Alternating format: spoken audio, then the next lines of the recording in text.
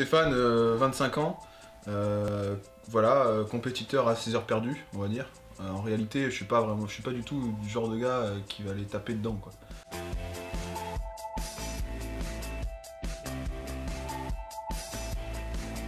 Le vélo, pour moi, c'est euh, voilà, c'est une passion avant tout, quoi. C'est pas un truc où je vais me, prendre la tête.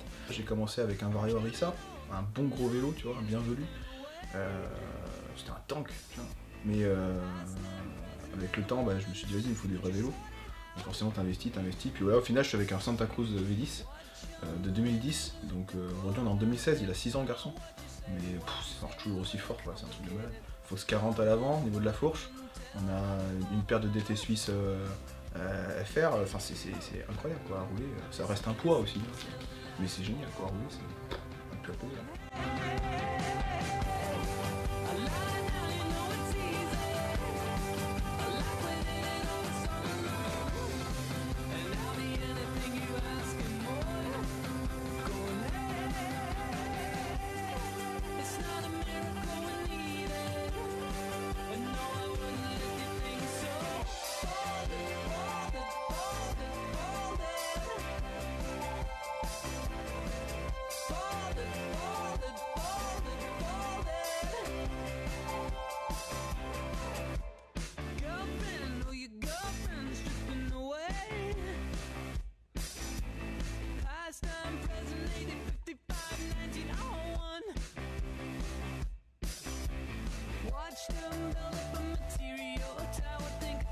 C'est plus que bien en vrai.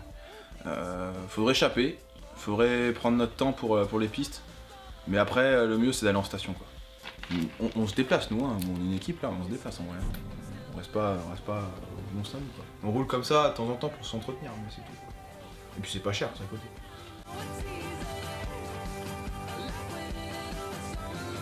J'avais 19 ans quand ça m'a tapé dedans.